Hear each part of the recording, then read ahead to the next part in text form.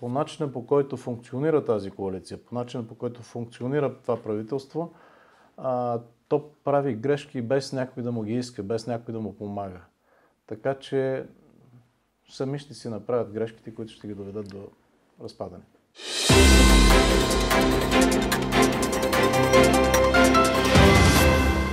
Вероятно много пъти сте чували, че да живееш в интересно време било проклятие. Ако припознаем в това нашето ежедневие, възниква въпроса как да го променим. Вие сте директно в новините политическия подкаст на ДИРБГ. Здравейте! Аз съм Стефан Кунчев и днес ви срещам с Стефан Янев. Доскоро министър на отбраната, до неотдавна министър-председател и вероятно скоро нов партиен лидер. Здравейте, господин Янев. Здравейте, добър ден. Как възприемате решението на Европейската комисия да обвърже получаването на парите, които чакаме по одобрение вече план за възстановяване на устойчиво, с това да вдигнем ветото върху преговорите за еврочленство на Северна Македония?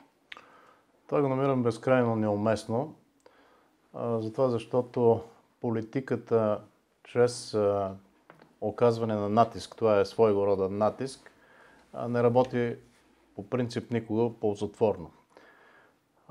България е суверенна държава и трябва да има своята позиция и своето усещане за нещата, които са важни за българския народ, за българския национален интерес, българския обществен интерес и след това вече да се съобразява с общите ценности, които са в Европа. В този смисъл, по ставането на такъв тип искане, което си е жив натиск, за мен е неприемливо. А мислите ли, че премьерът Кирил Петков води зад колисни преговори по темата? Възможно е. Това са отговори, които а, очевидно не може да ги изискаме от самия премьер и неговото близко обкръжение, но има достатъчно знаци, че, че е възможно и той е поел някакви ангажименти към някого, които не са ясни за българския народ. Както виждаме, не са ясни и за част от партиите, които подкрепят тази коалиция, включително и а, разговорите, които има в парламента по тези теми. През тази седмица България отбеляза 18 години от членството си в НАТО. Как се отрази това членство на държавата и армията? Припомня между времето, че Драгомир Заков, вашия наследник в Министерството на отбраната, заговори за необходимост, цитирам, от непопулярни и тежки решения. Да започнем отзад напред. Когато се говори за непопулярни и тежки решения, това е ефемизъм на едни неприятни решения, които ще бъдат предложени. Което означава, а, че всичко това, което аз съм се опитвал да направя и да говоря, че трябва да обърнем внимание на собствената си отбрана на въоръжените сили и да се положат достатъчно условие и фокусирано инвестиране на определени проекти, няма да се случи. По-скоро се търси някакъв вариант, който използвайки а, подходящи, да кажем, а, обстоятелства и извинения, ще бъде използван вариант, при който да се продължи тенденцията, която продължава вече 18 години, а именно не финансиране на армията. Недостатъчно финансиране, недостатъчно и нефокусирано инвестиране на армията. Това е една от темите, която засегнах и по последния консултативен съвет по национална сигурност, който се поведе при президента. Мисля, че беше средата на, на февруари, ако не се лъжа. И е, темата, е, макар че беше с основна тема армията и какво би трябвало да се направи, всъщност тя, е, дебатите по тази тема доказаха точно това.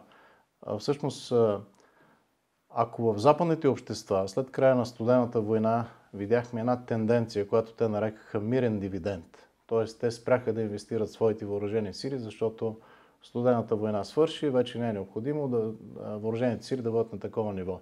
В България, за съжаление, този мирен дивиденд се превърна в НАТО дивиденд. Ние започнахме да не инвестираме системно в въоръжените си сили след приемането на България в НАТО. Защото а, говоренето, че ето ние сме в НАТО и НАТО ще ни пази, всъщност това обезкървява нашите усилия да, да направим а, смислени въоръжени сили, да сложим фокус там, където е необходимо да изграждаме и да модернизираме собствените си възможности, които всъщност гарантират нашия суверенитет. И ако обобщим въпроса 18 години в НАТО, решението и отговора какъв е? А, трудно е да се обобщи какъв е, какъв е отговора, но а, тенденцията е, е такава, че ние трябва да я променим. Ние трябва да, да се фокусираме върху собствените си въоръжени сили и да ги модернизираме планово, с съответните а, дългосрочни планове. И това беше един от призивите ми, който аз се опитах да осъществя по време на, на участието ми в това правителство в качеството на министър на отбраната, е всъщност да а, искам и от а, Министерски съвет и Народното събрание да подкрепи един а, план, който е дългосрочен за превъоръжаване и създаване на способности на въоръжените сили, който план да не е обвързан с годишните бюджети. Тоест той да е дългосрочен, многогодишен. А, дали ще е някакъв отбранителен фонд или модернизационен фонд, как ще се нарече, не е толкова важно в момента. Въпросът е, че а, това превъоръжаване и това закупуване на нова техника и развиване на нови способности много често се сблъсква с действителността, която е свързана с българското законодателство и невъзможността в рамките на една календарна година предвидения военен бюджет да бъде изразходван за това, което е предвиден и за това, което е най-необходимо. А по-скоро се създава условия в края на а, финансовата година, за да, се, за да не се изгубят напълно едни пари, те се харчат за по-второстепенни или нефокусирани проекти. В крайна сметка, като се погледне а, цялата карта на необходимите отбранителни способности, там където са най-необходими, имаме изоставане, а други неща, които също са необходими, но а, те получават финансиране и в крайна сметка не се получава цялостна и балансирана картина. По един важен въпрос, самолетите, които сме поръчали да пристигнат у нас. Трябва ли България да поиска обещетение от Съединените щати за забавянето на доставките на първите 8 платени вече изтребители F-16 или поне намаляване на цената на втората поръчка от 8 самолета? Как мислите? Въпросът е доста сложен защото а, самата покупка и а, доставка на, на този тип въоръжение а, става по в съответствие с американското законодателство и правилата, които са при, прияти там. А, в този смисъл България като купувач се съобразява и се съгласява с тези правила предварително. Едно от тези правила е, че а, не може да се търси финансова или друга а, компенсация в а, чисто търговски смисъл на думата. Тоест, България като купувач не може да санкционира доставчика, че не доставя нещо на време. Затова, защото за България партньорът е Министерството на отбраната на САЩ и по-специално военно-въздушните сили на САЩ. Не е фирмата производител. Тоест, отношенията вече не са търговски, те са правителство-правителство. В този смисъл, трябва ли и може ли, са едни много разтегливи понятия. Трябва ли и може ли, зависят от политическата воля тук и от реална оценка на състоянието на нещата, които са при нас. Затова, защото аз искам да отворя една скоба. Ние в момента сме изправени пред една много сериозна дилема и тя не е свързана с това дали ще се подпише договор за втората осмица или, или друга бройка, ако, ако се реши по-нататък, за да се а, а, имаме цяла екскадрила F-16, както са поръчени първите 8, а въпросът е, че в следващите, да кажем, десетилетия, следващите 10 години, ние нямаме ясен план кой и как ще изпълнява тази роля за охрана на българското небе. Така наречената задача Air Policing. Затова, защото а, политически вече е взето решение, че българските изтребители МиГ-29, които са произведени в бившия Съветски съюз, няма да бъдат ремонтирани в Русия – Украина или Беларус. Дали Полша? Някаква възможност за Полша си говори, но дали е, е възможно това да стане, трябва вече да се произнесат специалистите и, е, и самите а, полски а, заводи мощности, които могат да правят това, трябва да кажат какво могат и какво не могат. Тоест ние имаме една неяснота в пътя напред с поддръжката на този тип самолети. Може ли да се окаже, че ще остане без защита на небето? Има такава вероятност. До идването на първата поръчка от 8 самолета F-16. Точно за това говоря. Че има такава вероятност да се получи, че българските МиГ-29 няма възможност да бъдат поддържани в следващите 2-3-5 години, а новите F-16, първите 8, които очевидно вече е коментирано, че има забавяне в доставката им, но да бъдат доставени, да бъдат освоени, да бъдат поставени в бойно дежурство, това отнема време. Плюс това първите 8 а, вероятно няма да са достатъчни за изпълнение на тази задача ефективно. Тоест, трябва още изтребители, не казвам какъв тип да се купят. И това означава, че не сме изправили пред една дилема в а, един период от време, да кажем след 20, 2025 година, да имаме нужда да решаваме точно този въпрос. В период на 3 години, така ли? Нямам идея дали ще са 3 или 5 или 7. Аз не мога да кажа, защото то зависи от времето на доставка, освояване на тези самолети, постигане на първоначална оперативна готовност за тяхното бойно използване и всичко останало. Това са срокови, които а, на практика са ясни за, за военните, за летците, но те зависят от фактори, които могат да бъдат разтегнати във времето. Както въпросът с доставката на първите 8. А подготовката на пилотите заедно с това? подготовката на пилотите започна още през миналата година.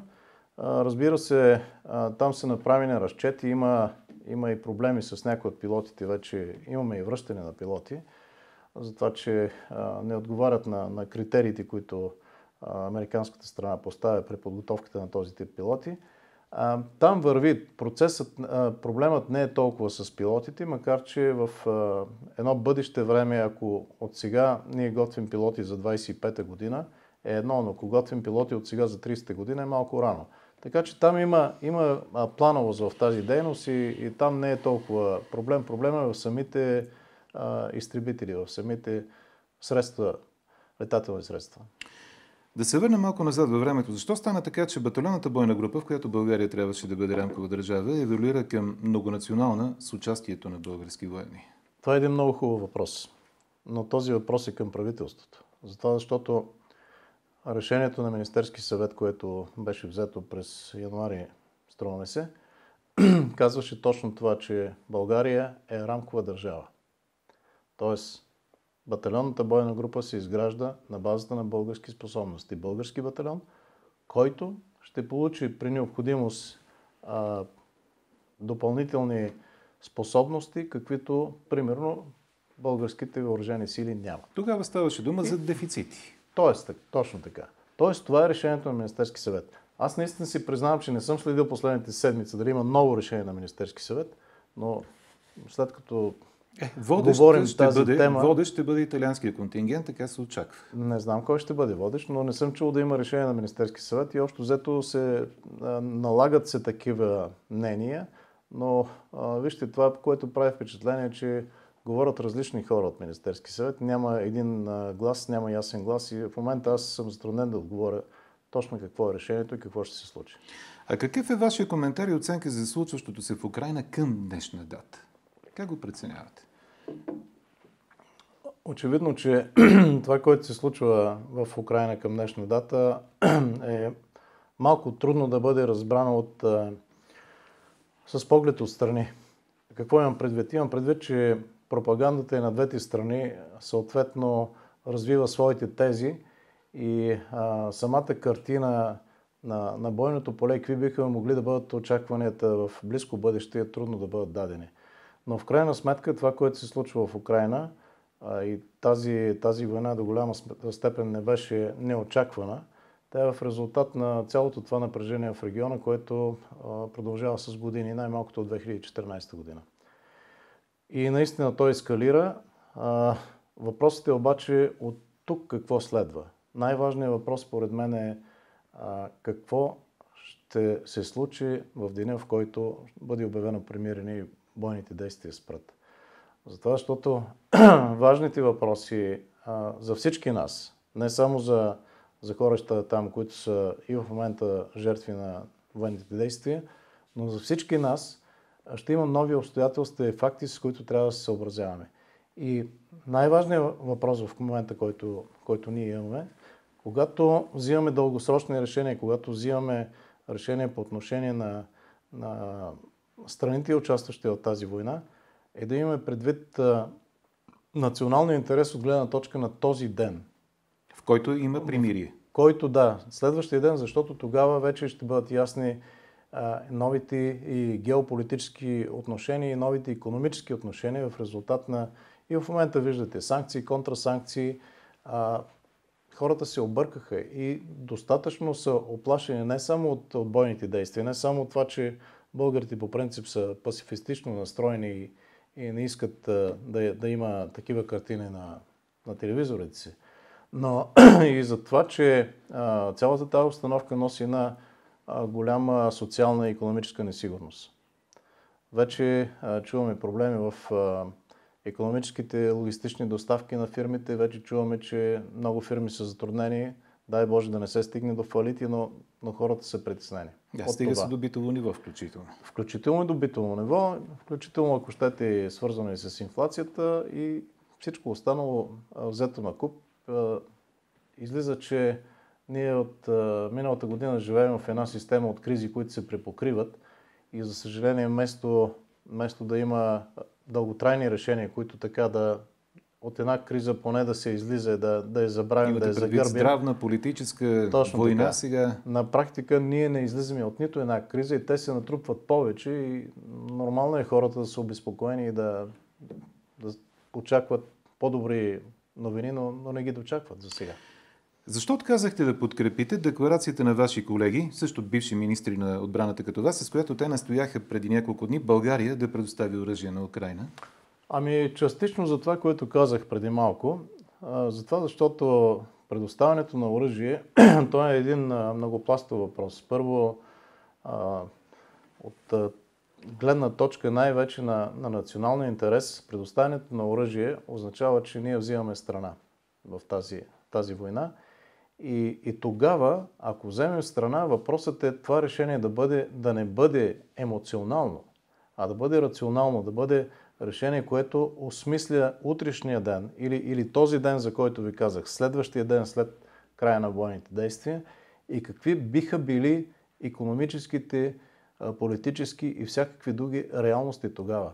Защото а, всички тези решения, пак казвам, не бива да бъдат а, емоционално базирани, а трябва да бъдат отговорно от гледна точка на, на български интерес.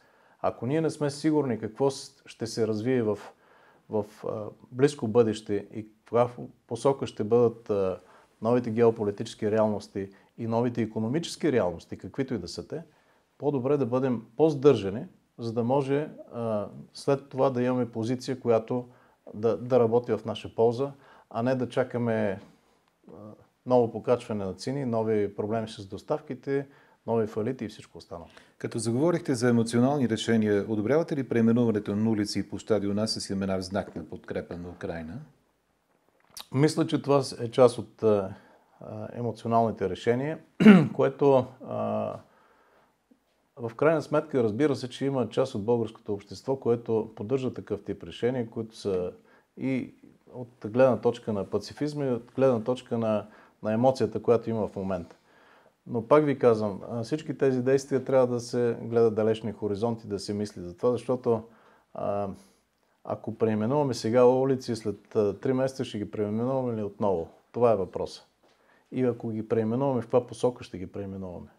Така че струваме се, че емоциите са едно много хубаво нещо, но не са добър съветник в политиката и в, в частта, когато се взимат решения.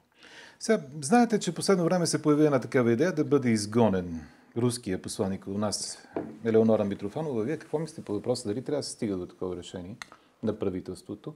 А, разбира се, това е решение, което правителството ще вземе, но а, това е по принцип е тежко решение. А, всъщност, имаме, Първото... ли, имаме ли такъв пример да се изгони посланник? А, на която и да е било държава? Аз лично нямам спомен да ви аз, кажа. Аз нямам спомен, но Съвременната ни история. Нека поне. да кажем това, което е важно. Никой посланник, независимо дали е посланник Митрофанова или на която и друга държава, няма право с а, действията си и с а, изказванията си, с а, публичното си говорене да оставя впечатление в българските граждани, че се меси във вътрешните работи на страната, в която тя е изпратена да изпълнява, да представлява собствената си страна. Никой посланник, повтарям. В този смисъл а, въпросът на, на дипломацията на Венската конвенция е точно тази, че посланиците са пратеници на своите държави, за да поддържат двустранните отношения. Смисълът на изгонването на, на един посланник е прекъсване на двустранните отношения, което е много тежък такъв сериозен Това момент. Това не става ли единствено само по време на война, например? Това става по време на война, например, както казвате, но имаме спомени, че по време на Втората световна война посланиците не са били гонени. Така че а, много е относително. Дори, Дори особено в време на война е по-добре да имаш все пак някакъв канал за комуникация с, с другата държава, макар да си официално в война с нея. Така че не, не мога да кажа каква а, а, е мотивацията на правителството, защото вероятно има и други посланници, които с говоренето си се а, така да създават впечатление, че се мешат в а, вътрешните работи на държавата ни.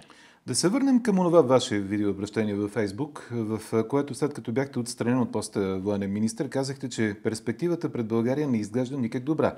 И вместо да се търсят работещи решения, се генерират краткосрочни политически дивиденти на базата на страданието на хората. Казахте тогава. Може ли да ни обясните за чии дивиденти и за какви страдания ни предупредихте в това видео? Ами от гледна точка на днешния ден, мисля, че няма нужда да обяснявам нищо защото а, действителността и това, което, което ни заобикаля на, на дневна база, а, показва, за съжаление, че в някаква степен съм бил прав.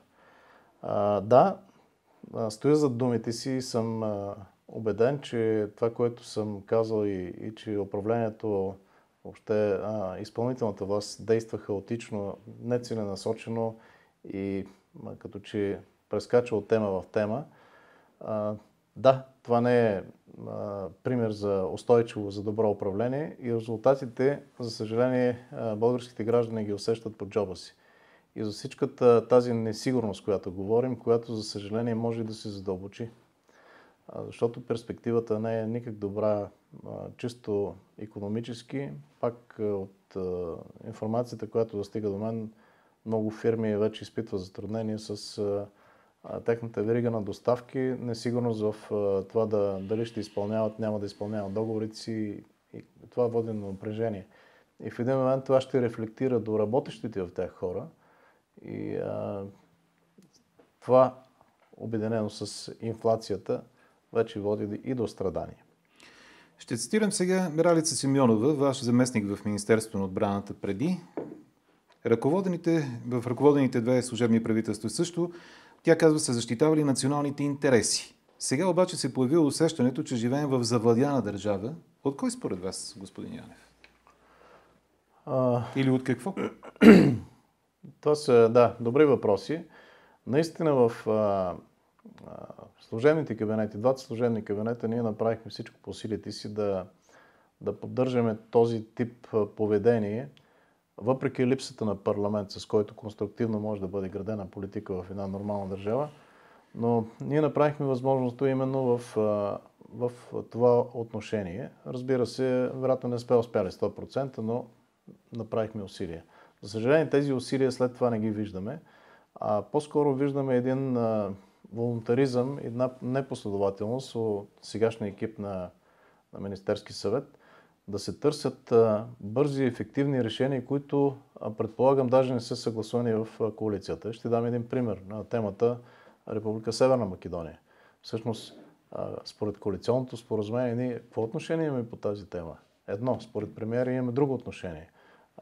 Казвал съм и преди, в един момент, януари мисля, че беше, премиерата реши, че трябва да отиде до Северна Македония да провежда някакви преговори. Аз Нямам спомен да е взимано решение на Министерски съвет, който да му дава мандат.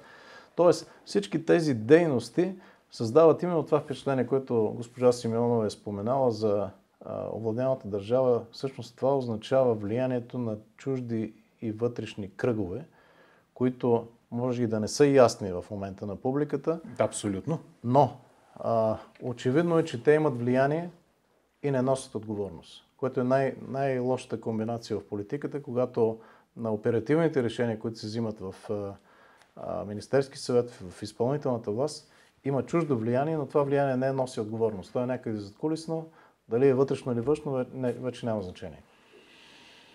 И към още един въпрос, който стана неразбран така, в е, обществото. Вие разбрахте ли конкретно какво повече очаква от вас президента Труна Радев, докато бяхте министър на отбраната в правителството на Кирил Петков? Не, малко, малко ми изненада тази оценка, която е доста странна. Най-малкото от факта, че а, аз на практика нямах и 100 дни в това правителство. И първите 100 дни са, са, е, това е времето, когато екипите правят своите анализи, да видят къде се намират и какви са неотложните проблеми, за да знаят къде да фокусират своите съответни управленски стратегии. Така че малко ме изненада и не, не разбрах. Вероятно трябва да питате президента какво има предвид. Да поговорим за един премьер на пример, по-скоро на изборен успех от миналата седмица в държава, която не е член на НАТО и на Европейския съюз. Това е Сърбия. Там президентът Александър Вучич спечели втори мандат, а неговата сръбска прогресивна партия парламентарните избори. Според анализатори това се дължи на економическия бум в страната заради балансираните отношения на Вучич с Брюксел и Москва. И въпросът ми е, мислите ли, че това е ключът за економически успех на малка държава на Балканите? Ами всъщност вие задавате риторичен въпрос. Очевидно е, че политическия успех на, на президента Вучич, неговата партия и, и хората, които споделят тези ценности, се дължи на економическия успех, на това, че държавата е в подем. Тоест, ако народът на, на Сърбия чувства този подем и съответно избирателите оценяват този подем, това е техната оценка. Значи, това е причината. Разбира се, дали това се дължи на, на балансираната политика и възможностите, които, да, и възможностите, които, които прави правителството на Република Сърбия и президента Вучич.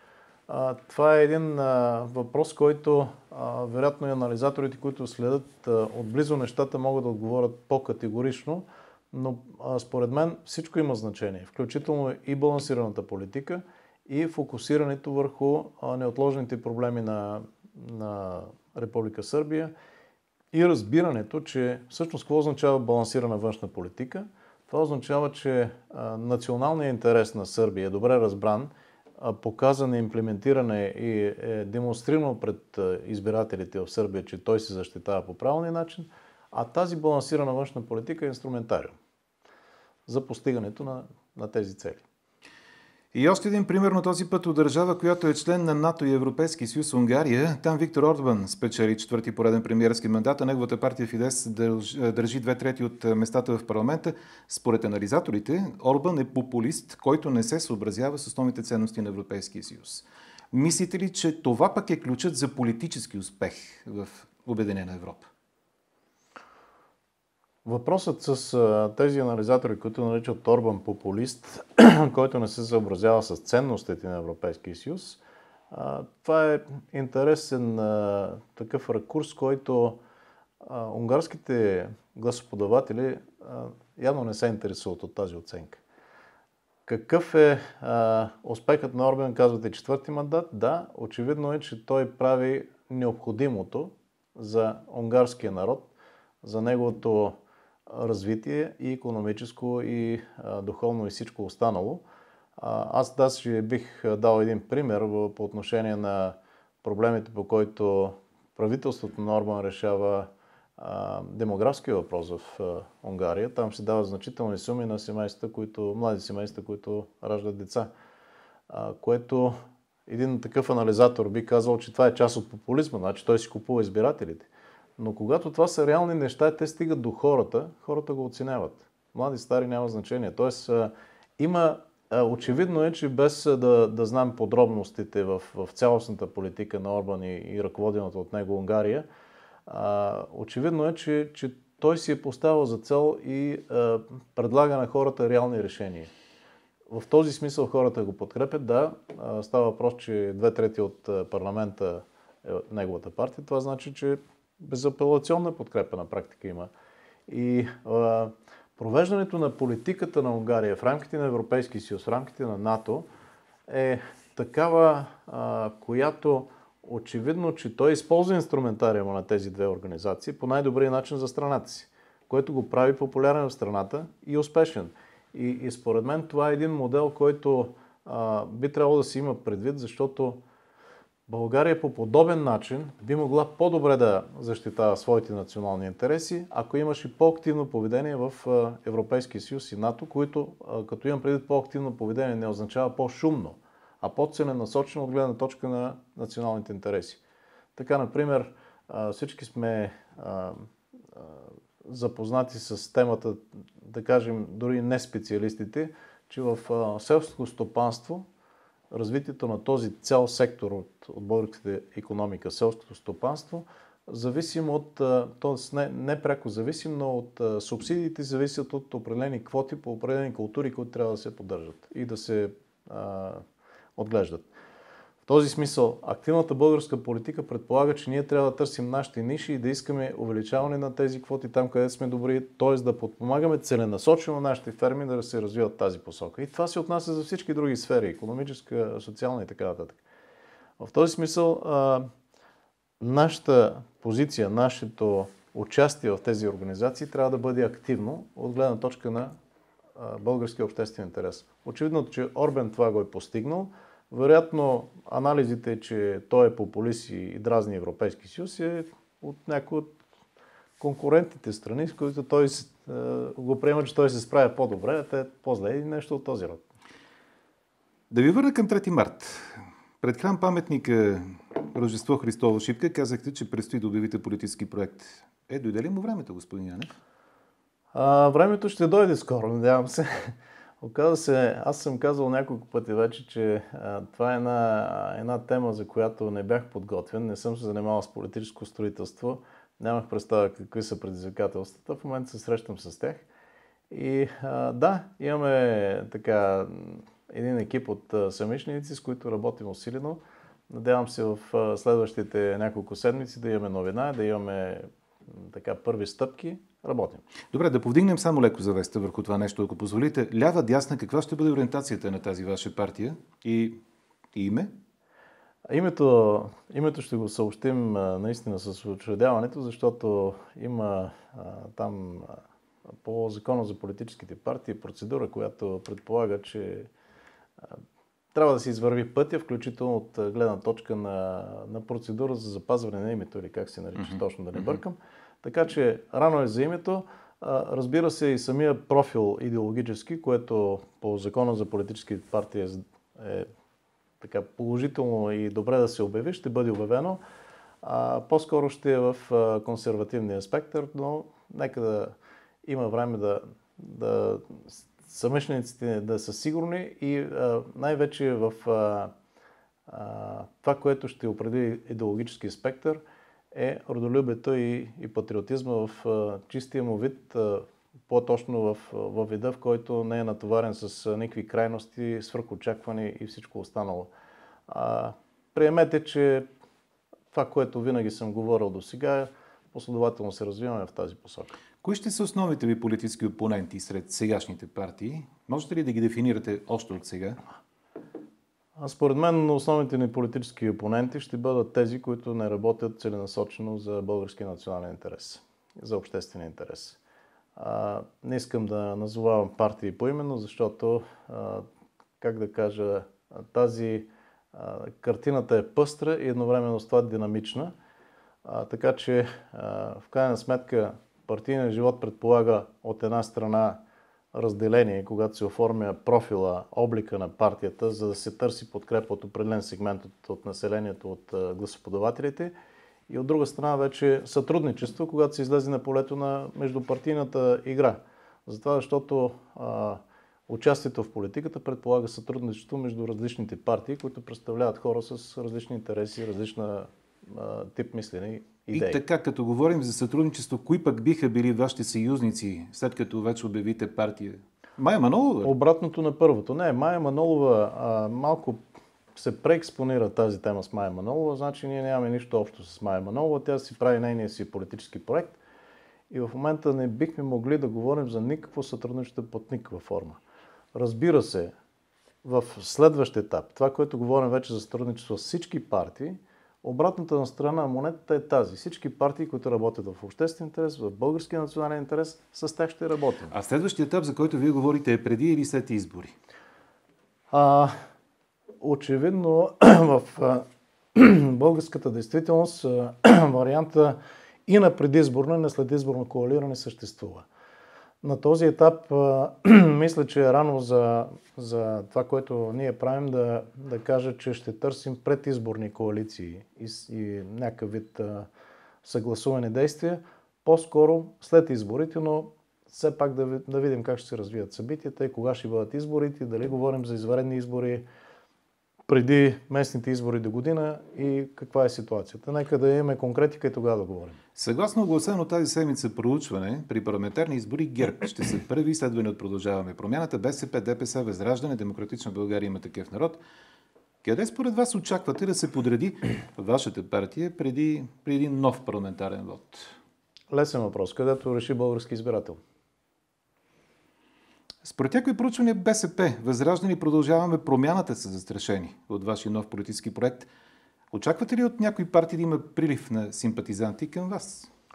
Очаквам да има прилив на симпатизанти от всички посоки. Всички хора, които смятат, че целите, които изповядаме и идеята да направим България по-съвременна, България на, на спазване на правилата, България е фокусирана върху бъдещето на на следващите поколения, запазването на българските традиции, е, българската културна идентичност.